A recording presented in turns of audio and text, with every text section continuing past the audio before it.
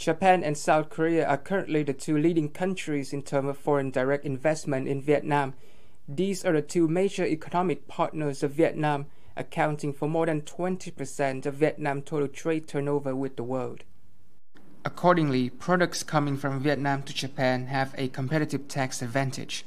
For instance, when exporting textiles to Japan, Vietnam enjoys a 0% tax rate, but China and Bangladesh are subject to a 5 to 11% tax. Or when it comes to the category of aquatic goods, China and India are subject to a tax of 6 to 12% when exporting to Japan, compared to Vietnam's 0% tax rate.